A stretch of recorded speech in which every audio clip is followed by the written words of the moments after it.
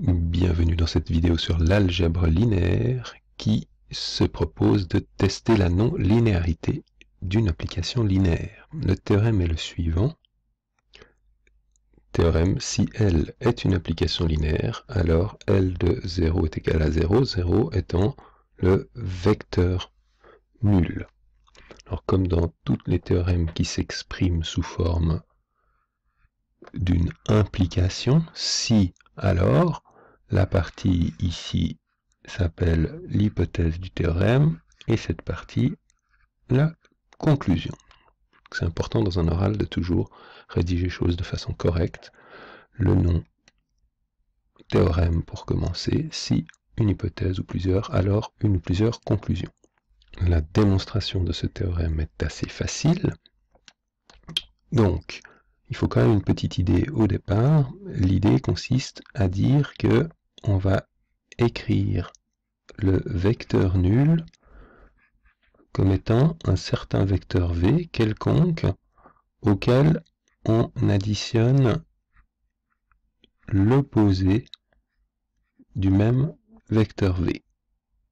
Donc ici, j'ai simplement écrit le vecteur 0 comme étant v plus moins 1 fois v. Pourquoi ceci? Ben Parce que un vecteur v on remarque qu'on soit ici dans le plan, dans l'espace, dans n'importe quel espace vectoriel, en fait, c'est la même chose. Qu'est-ce que c'est que le vecteur moins 1 fois v? C'est le vecteur qui a la même direction que v, qui a un sens opposé à v et qui a une longueur, une intensité ou une norme, une norme identique. Donc, si vous avez le vecteur v ici, vous avez le vecteur moins v de ce côté. La somme de v avec l'opposé de v donne le vecteur nul. Ce qu'on écrit aussi comme définition de la soustraction des vecteurs, v moins v est égal au vecteur nul, puisque moins 1 fois le vecteur v, c'est la même chose que plus moins 1 fois le vecteur v, c'est la même chose que moins le vecteur v.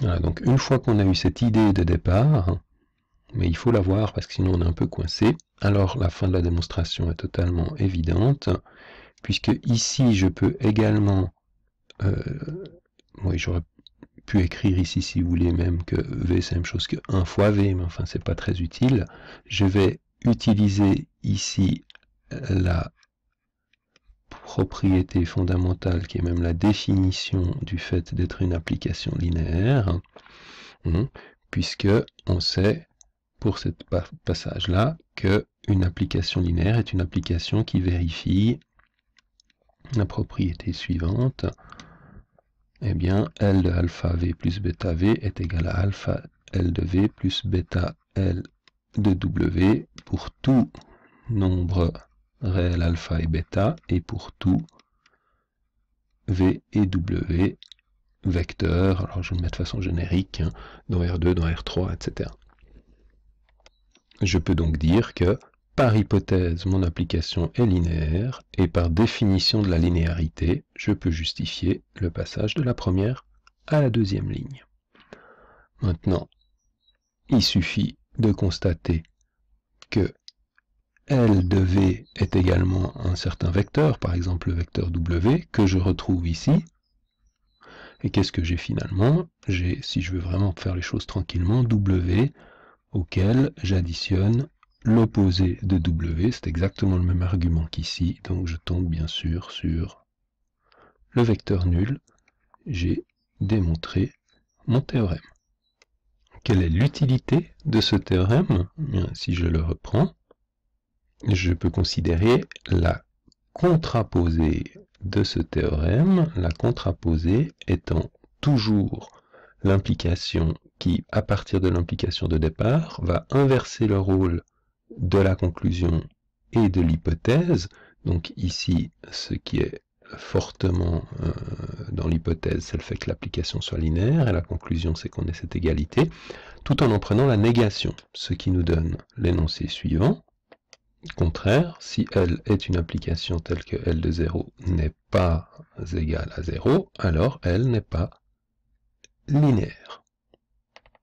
vous aurez remarqué que le fait qu'elle soit une application reste dans le contexte. Hein. L'hypothèse forte, c'est que j'ai une application qui est linéaire, j'en conclus cette égalité. Donc si j'ai une application qui ne vérifie pas cette égalité, elle n'est pas linéaire. Mais le contexte, je suis toujours en train de travailler avec une application appelée grand L.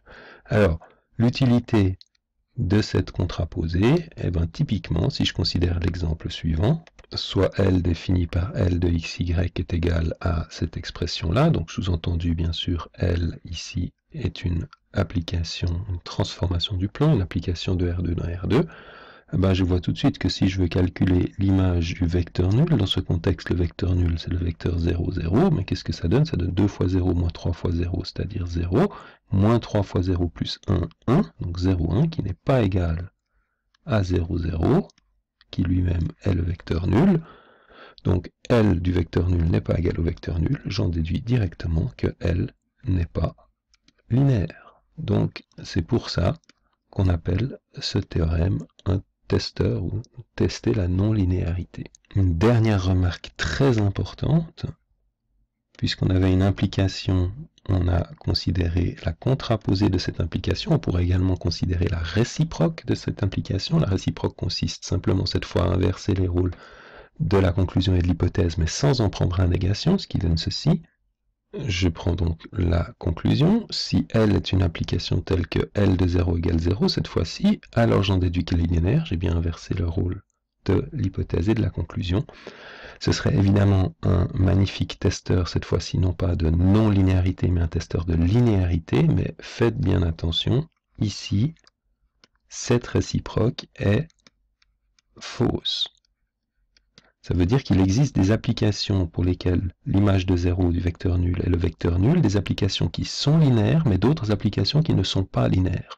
Donc on ne peut rien dire en toute généralité dans la situation où l'image de 0 par une transformation, éventuellement une transformation du plan, est envoyée. Donc l'image de 0 est 0, l'image du vecteur nul est le vecteur nul. C'est vraiment uniquement lorsque l'image du vecteur nul n'est pas égale au vecteur nul qu'on peut en déduire la non-linéarité. Voilà donc pour cette vidéo présentant le testeur de non-linéarité.